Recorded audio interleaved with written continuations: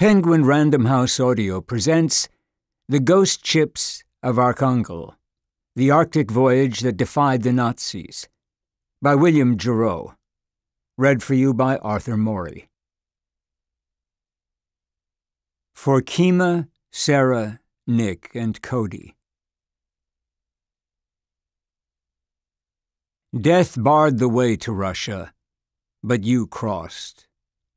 John Masefield for all seafarers. Prologue The Spinning Needle.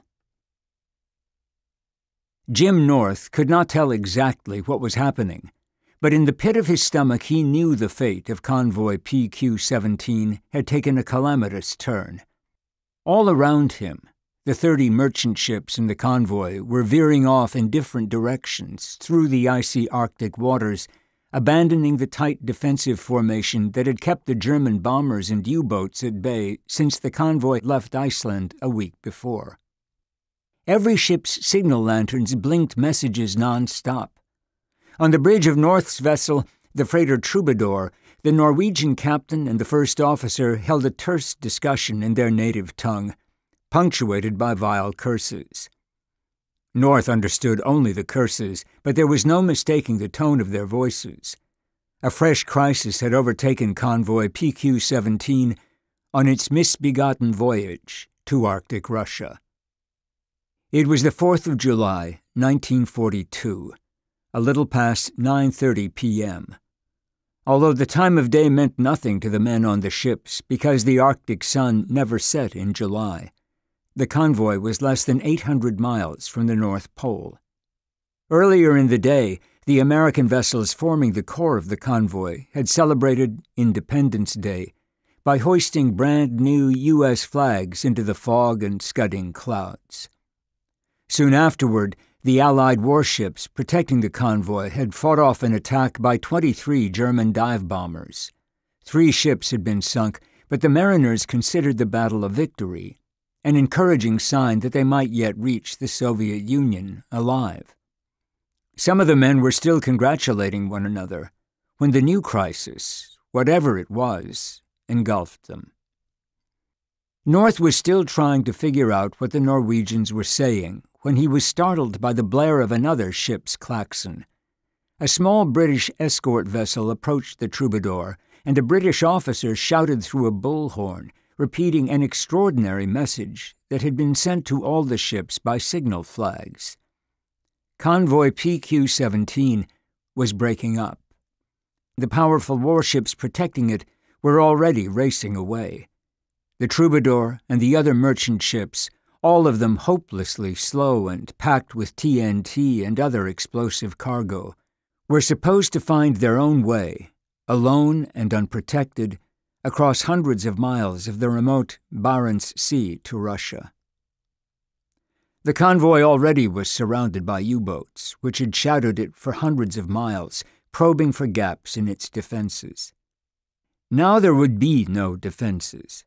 The 24 hour Arctic daylight offered no respite from the German bombers, more of which were certainly on the way. Worst of all, perhaps, Convoy PQ 17 faced a possible attack by the German battleship Tirpitz, the world's most formidable warship. The Tirpitz had guns that could hurl devastating shells for a distance of 22 miles, from beyond the horizon. It could sink lesser ships like the Troubadour before they even saw it coming. Men on some Allied ships called the Tirpitz the Big Bad Wolf.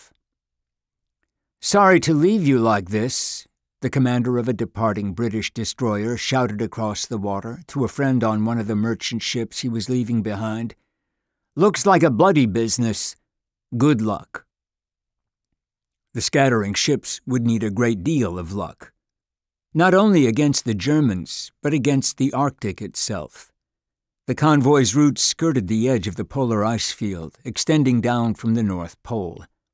The water was full of icebergs and floes with razor sharp edges. Though it was midsummer, the ocean was still cold enough to kill a person in minutes, and the air temperature often dipped below zero degrees Fahrenheit. Clouds and fog could persist for days, leaving navigators unable to fix their ships' positions by the sun. The nearness of the magnetic North Pole rendered vessels' magnetic compasses useless. At 20, Jim North was the youngest and greenest deckhand on the Troubadour. He had never been to sea before and knew little about the Soviet Union except that it was a big country fighting the Germans like we were. After the convoy had repelled the German dive bombers, North had felt cocky, indestructible. Now, as he watched the convoy dissolve, he wrote, I was scared shitless. Thousands of miles away, in Washington, D.C., London, and Moscow, President Franklin D. Roosevelt, British Prime Minister Winston Churchill, and Soviet dictator Joseph Stalin were testing the limits of their fraught alliance against Adolf Hitler. The Soviet Union was fighting for its survival against Nazi Germany in a war of medieval savagery that had already claimed millions of lives far more than America and Britain together would lose in the entire course of World War II. America and Britain were merely watching the slaughter from the sidelines. Stalin was furious. But Roosevelt and Churchill did not think their troops were ready yet to compete with German troops on the battlefield. For the time being, the only help they were willing to give Stalin was to send convoys of war supplies across the ocean to the reeling Red Army. Whether that was enough to help keep Stalin on the Allied side was in doubt, but Roosevelt and Churchill were determined to keep the convoys sailing. Roosevelt, Churchill, and Stalin were usually too busy to pay much attention to individual convoys, but they would all have cause to remember Convoy PQ 17. Amid the chaos on the Troubadour's bridge, the Norwegian captain, Georg Salvesen, quickly regained his unruffled demeanor. He had a plan. Salvesen did not think the lumbering troubadour could survive an 800 mile run across open water with the Nazis already upon it. Instead, he would take the ship north, into the polar ice field, and hide there until the German attacks subsided. The captain ordered North to steer northwest into the ice, the opposite direction of most of the other fleeing vessels. The ice field was a treacherous place for a ship. The captain hoped it was the last place the logical Germans would think to look. North did as he was ordered. The troubadour had to dodge floes as it approached the ice barrier, a low wall of brilliant white stretching all the way across the northern horizon. A cold, gray fog swirled around the ship.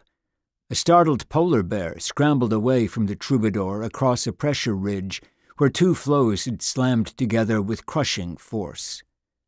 The troubadour was about to become a ghost ship. The bridge had fallen into an uneasy silence. The captain called out, Steady as she goes, trying to sound reassuring. But North was far from reassured when he glanced at the compass to note the ship's bearing. The needle of the useless compass was spinning around and around.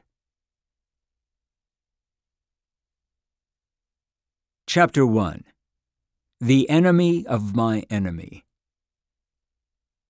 The stark beauty of Iceland was mostly lost on the men who took part in convoy PQ 17.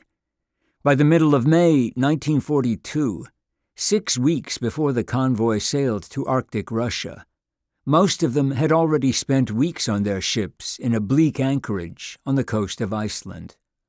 The place was named Hvalfjord, which was Icelandic for Whale Fjord, reflecting the waterway's long history as a whaling center.